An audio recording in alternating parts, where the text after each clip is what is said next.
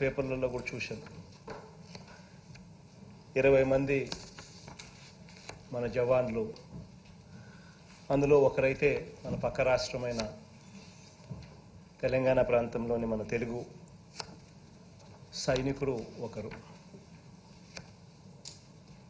వీరి కోసమని ఈరోజు అసెంబ్లీలో ఈ తీర్మానం చేస్తా ఉన్నాం అధ్యక్ష. దేశ సమగ్రత సార్వభౌమ భౌమత్వాన్ని కాపాడే విధి నిర్వహణ చేస్తూ ఇండియా చైనా సరిహద్దుల్లోని గాల్వాన్ లోయ వద్ద ఘర్షణలో అమరులైన ఇరవై మంది మన దేశ వీర సైనికులకు ఆంధ్రప్రదేశ్ ప్రజల తరపున ఈ శాసనసభ ఘనమైన నివాళులు అర్పిస్తుంది. మొత్తం దేశంతో పాటు ఆంధ్రప్రదేశ్ రాష్ట్రం వారందరి కుటుంబాలకు ప్రగాఢ సంతాపాన్ని తెలియజేస్తూ ఉంది.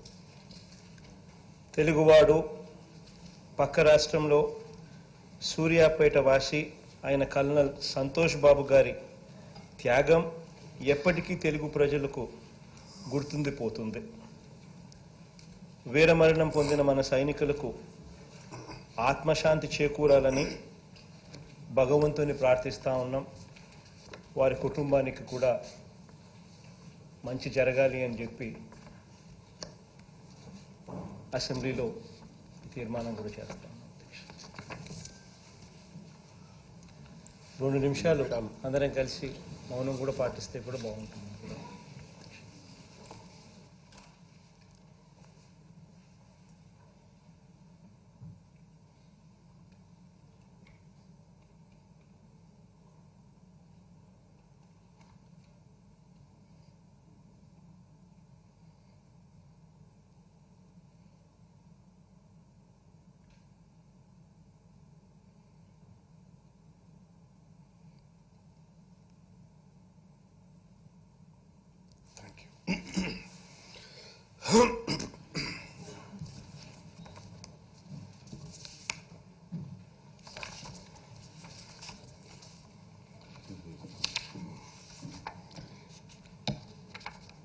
Resolution on NPR.